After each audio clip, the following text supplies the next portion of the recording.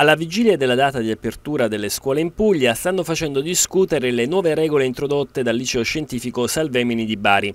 L'istituto, dopo una sperimentazione fatta la primavera scorsa, ha varato quest'anno un sistema all'americana istituendo aule dipartimentali con gli studenti che a fine ora si spostano da un'aula all'altra invece dei professori che resteranno fermi.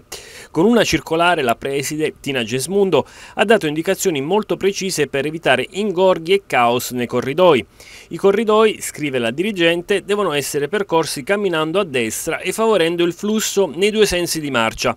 Gli studenti devono muoversi in silenzio e correttamente per gruppi di classe, possibilmente in fila indiana, e se due flussi si incrociano, la classe rispetta la precedenza a destra senza mai dividere i gruppi classe in transito.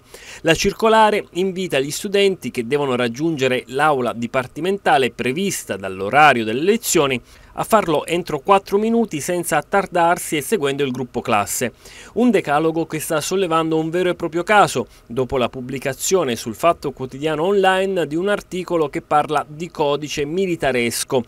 Anche la CGL Bari, insieme all'FLC CGL e all'UDS provinciali, ha chiesto spiegazioni sollecitando un incontro urgente alla dirigente scolastica, al Consiglio di Istituto Tutto e ai rappresentanti degli studenti.